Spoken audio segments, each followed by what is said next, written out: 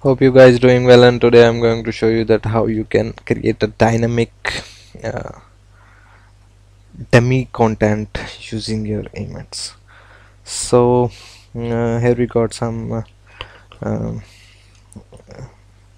examples here. So I've added Lorem and we got the a single line with the dummy content dummy content is uh, mm, is how it's it's just uh, we can use the dummy content for the mm, uh, they do not index in the Google search. So that's why we uh, if you don't have any content or pending uh, from content uh, mm, writer side so, so you can also add the dummy content within your HTML document with the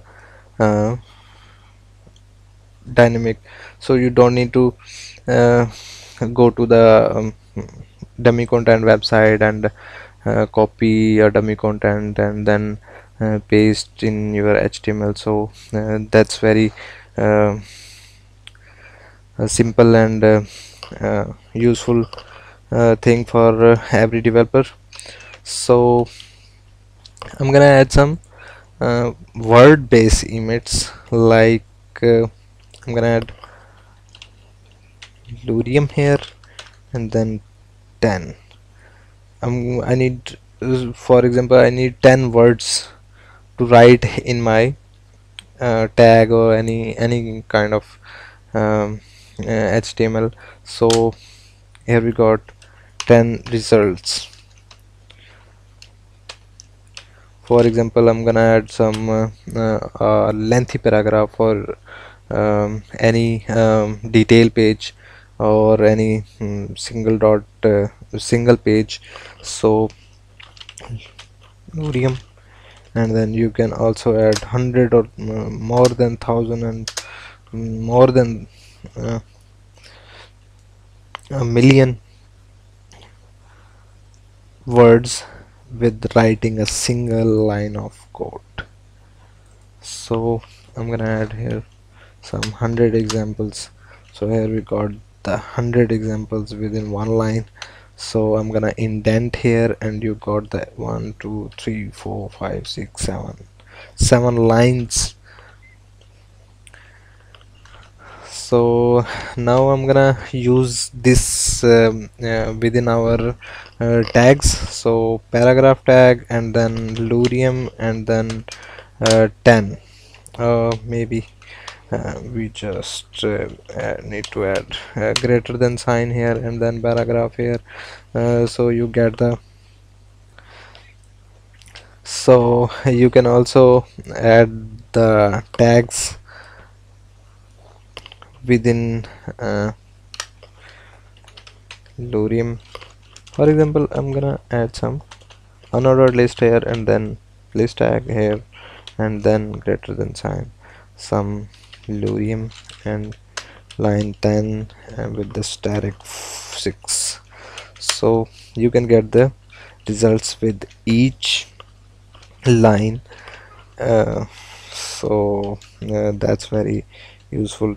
For example uh, I'm gonna add some more examples here.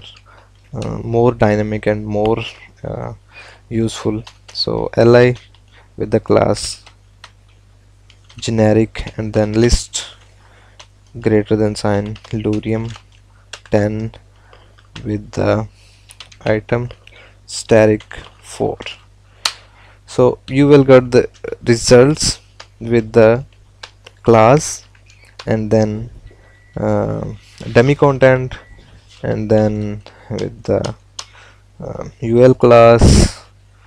So you can also add some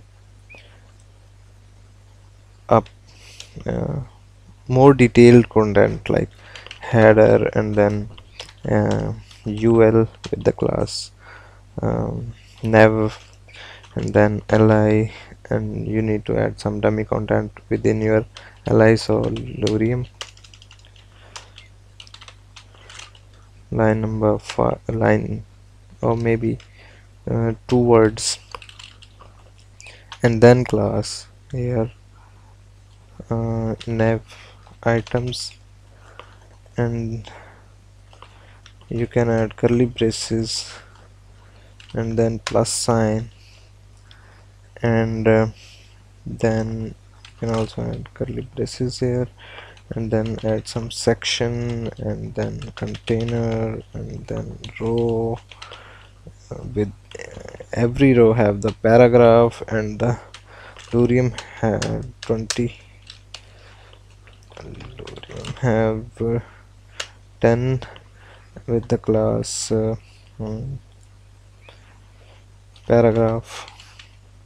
So you will get more dynamic with the with every line. For example I'm gonna add multiple allies like six. So uh, static 6 maybe static 6 should be here.